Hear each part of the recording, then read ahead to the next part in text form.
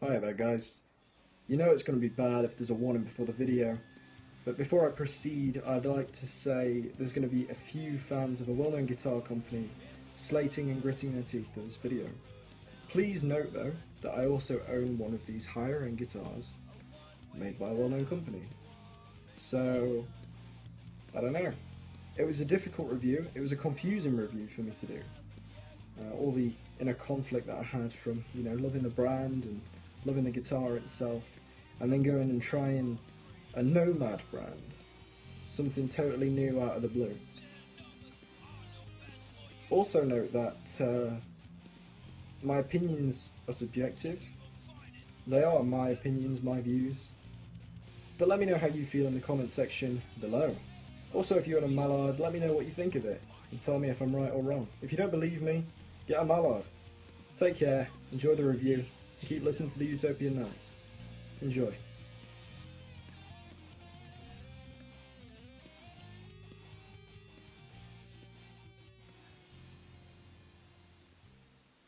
Hello there guys, I'm Alex Morley from the Utopian Knights and I'm here today with another Mallard review.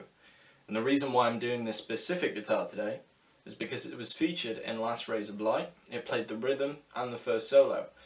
Unfortunately I can't take credit for the second solo because Tenuka did it and he kicked my ass once again. Um, so, this is called the Mallard Utopia, which I think is very nice uh, of Rob to call it that. We're actually going to have our logo on the back of the headstock and then have it lacquered over. So if you get your hands on this guitar, by then it'll probably have the little Utopian Knight symbol on the back. Pretty cool.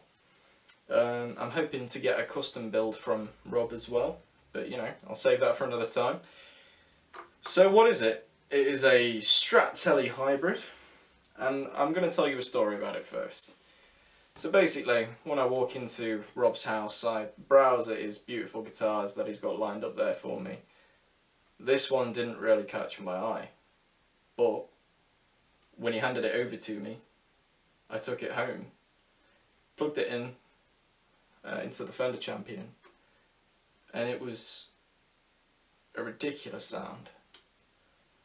Ridiculously good, that is it was so good to the point that I actually started to question, and I shouldn't be doing this because I, I always said from the beginning that I wouldn't be comparing these to any of the USA built or any other brands.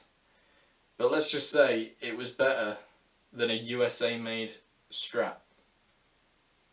Well, you're kind of going to guess the company there because they're the only company that do USA made Stratocasters, but basically that's why I wanted to use it.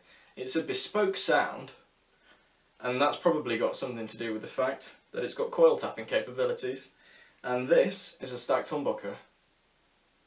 I don't know, I don't know. It, it doesn't sound like a Strat, and it definitely doesn't sound like a Tele. That'll be for your ears to decide. Um, so let's go through the specs now. What we've got is a one-piece Alder body here. Uh, we've got the three-ply plastic pickguard with the binding around it once again. We've got the Ashtray Bridge by Wilkinson's, uh, Wilkinson, sorry. Uh, you've got the 500k CTS pots for the tone and volume. All of the components are wired up with the wax coated wiring. Uh, you've got orange drop tone capacitors in there. Uh, I'm sorry, but I won't be posting pictures of the internals this time because I've been told that if I do, I'm going to struggle to get all the cables back in because it's that complex. Um, it's unfortunate, but you saw what the Cabronita was like inside.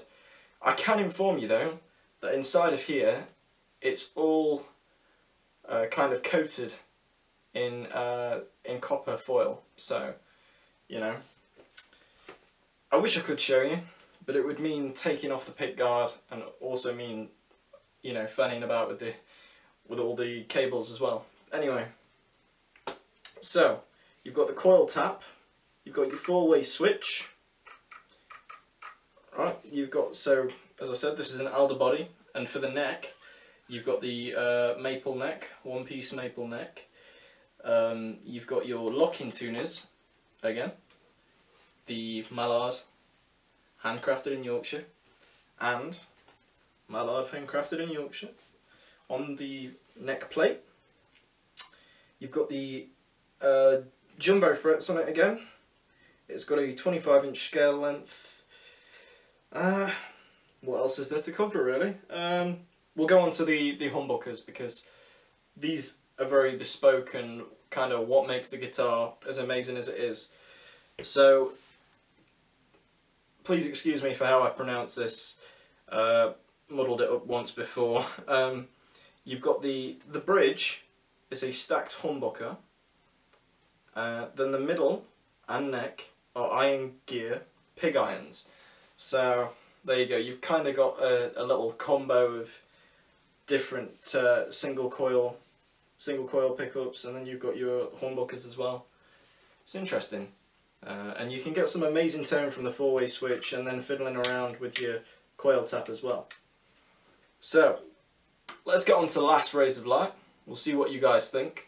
I hope you enjoy both versions, the instrumental that you'll hear in this video and our uh, video with the lyrics as well. So, you know, there'll be a little groovy music video to that featuring this guitar too. You've just got to I'm amazed by it, to be honest, and this is still part of the mid-range series, so, as I always say, I can't wait to see what's to come in the future. Ah, and before I miss it, as well, you've got a standard uh, graphite nut this time, not the nylon nut, which is interesting.